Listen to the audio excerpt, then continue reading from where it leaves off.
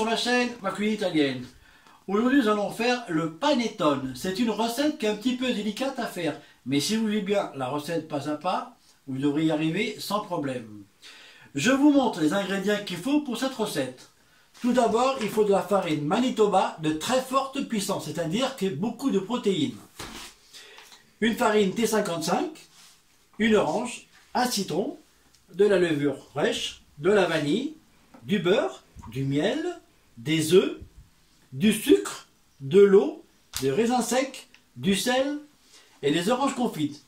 Cette recette, vous la trouvez sur ma chaîne. Sans oublier bien sûr les moules à panettone. Cette recette se fait en trois phases. Tu trouveras tous les ingrédients dans la barre d'infos. On se retrouve tout de suite pour le détail des explications dans la vidéo.